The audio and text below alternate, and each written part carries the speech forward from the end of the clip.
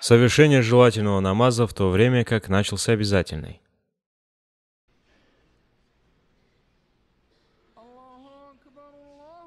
Абу Хурейра, да будет довольным Аллах, передает, что пророк Мухаммад, мир ему и благословение, сказал, «Если дали ихамат, то нельзя совершать молитву, кроме как обязательную».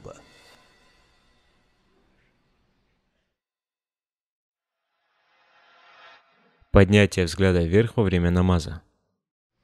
Анас бин Малик, да будет доволен им Аллах, передает, что пророк Мухаммад, мир ему и благословение, сказал – Люди, которые устремляют свои взоры к небу во время намаза, должны прекратить это делать, а то поистине они лишатся зрения.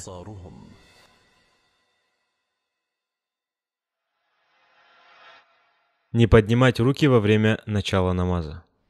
Абдулла бин Омар, да будет доволен Аллах им и его отцом, сказал, я видел, как посланник Аллаха поднимал свои руки до уровня плеч, начиная намаз, а также совершая поясной поклон.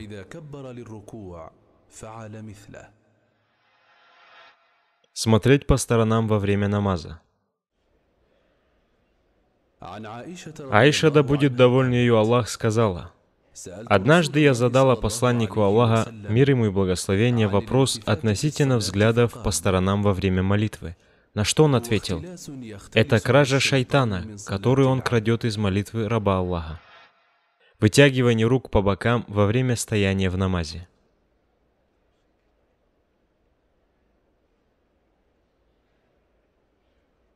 Саль ибн Саад, да будет довольным Аллах, сказал – Людям было велено класть правую руку на левую во время молитвы.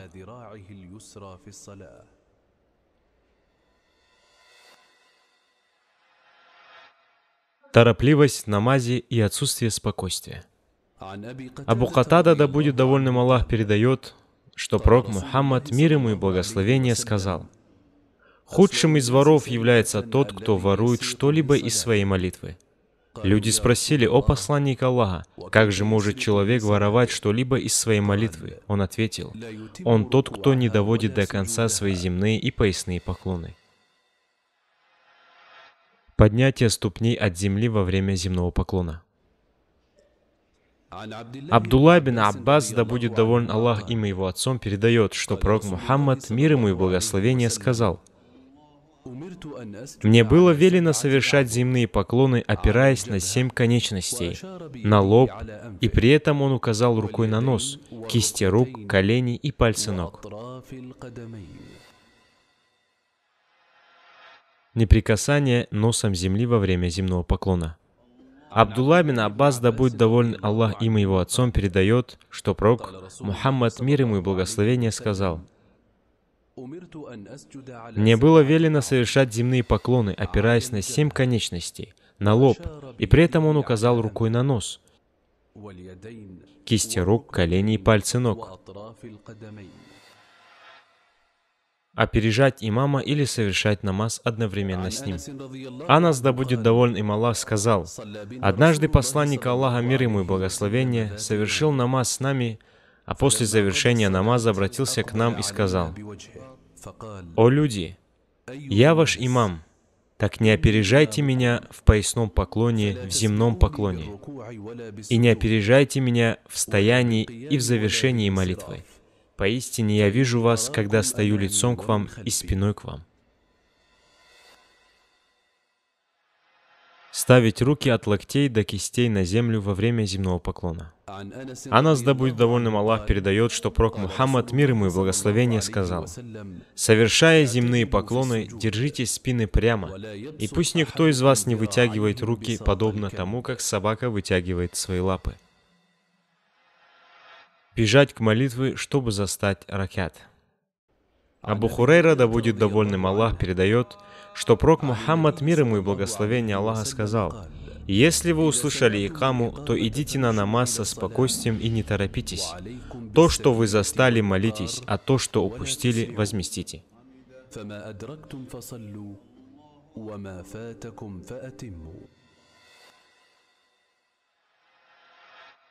Намаз без сутры.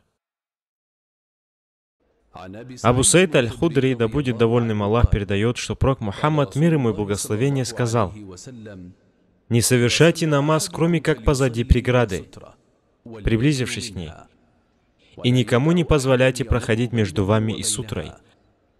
А если кто-то попытается пройти, то сражайтесь с ним, ибо он является шайтаном».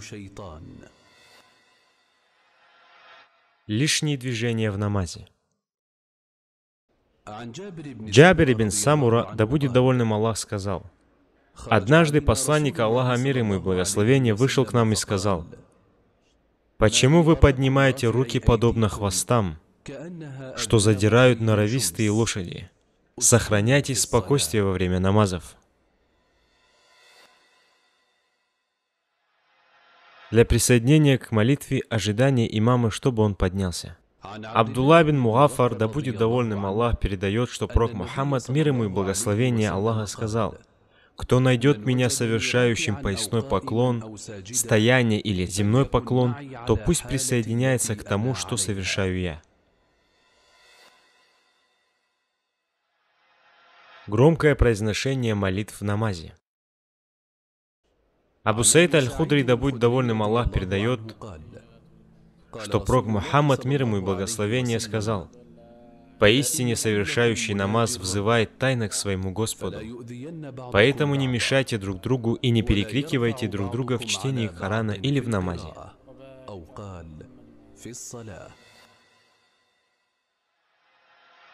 Поднятие рук после поясного поклона, как это делается в дуа.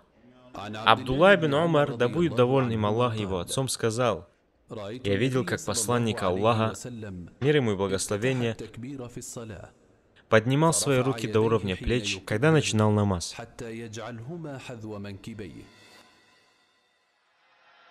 Оставление полного выпрямления после поясного поклона.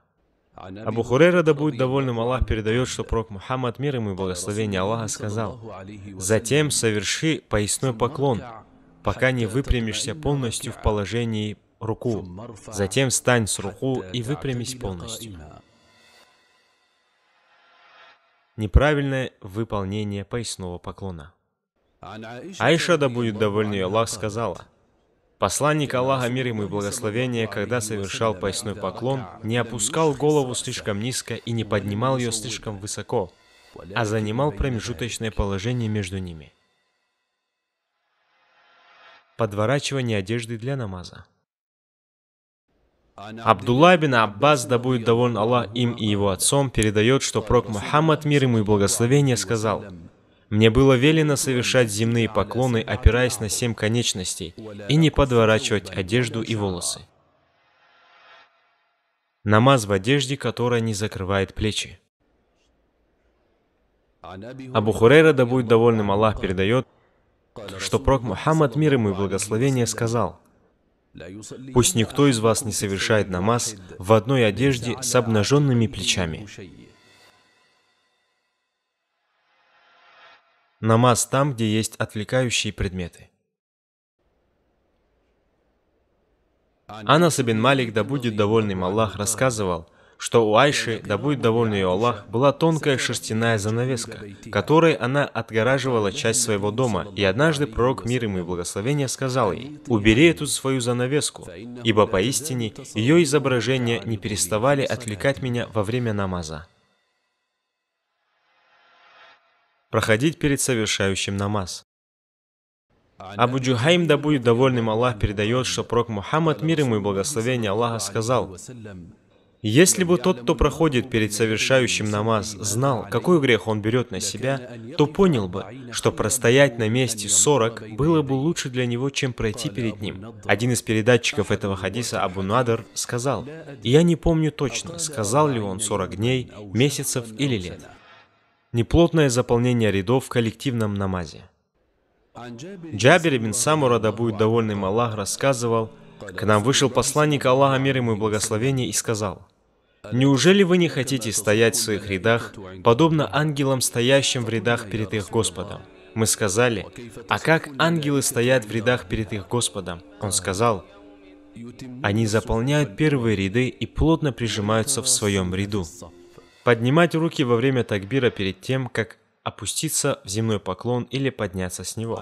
Абдулла бин Умар, да будет доволен Аллах им и его отцом, сказал, «Я видел, как пророк, мир ему и благословение, делал открывающий намаз такбир и поднимал руки до уровня плеч и видел, когда он произносил такбир перед поясным и говорил, Аллах слышит тех, кто его восхваляет, и Господь наш, и Господь наш, вся хвала принадлежит тебе, поднимая руки также. Однако он не поднимал рук перед тем, как опуститься в земной поклон, и после того, как поднимал поднимал голову после земного поклона.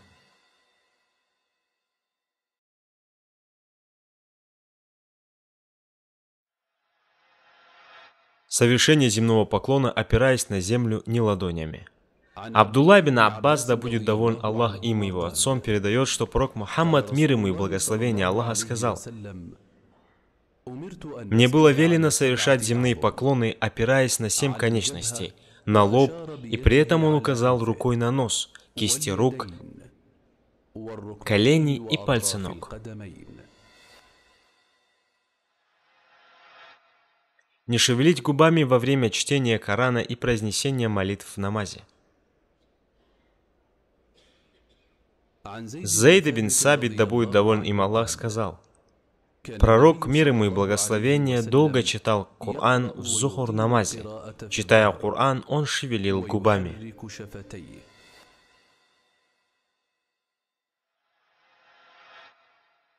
Несоединенные и кривые ряды в намазе.